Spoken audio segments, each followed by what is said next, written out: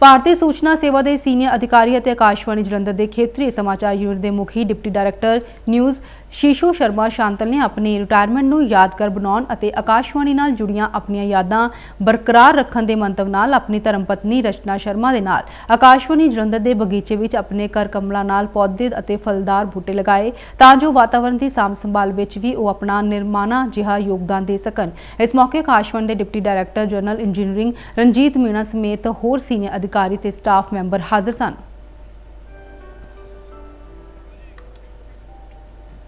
ਸ਼ੀਸ਼ੂ ਸ਼ਰਮਾ ਸ਼ਾਂਤਲ ਤਕਰੀਬਨ 30 ਸਾਲ ਅਤੇ 10 ਮਹੀਨੇ ਦੀ ਸੇਵਾ ਮਗਰੋਂ ਅੱਜ ਰਿਟਾਇਰ ਹੋਏ ਨੇ।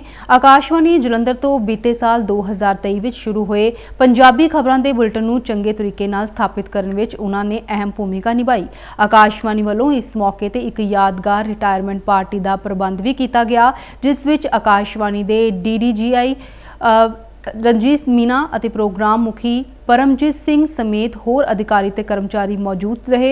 ਇਸ ਮੌਕੇ ਬੋਲਦਿਆਂ ਰਣਜੀਤ ਮੀਨਾ ਨੇ ਸ਼ਿਸ਼ੂ ਸ਼ਰਮਾ, ਸ਼ਾਂਤਲ ਵੱਲੋਂ ਨਿਭਾਈਆਂ ਸ਼ਾਨਦਾਰ ਸੇਵਾਵਾਂ ਦੀ ਸ਼ਲਾਘਾ ਕੀਤੀ।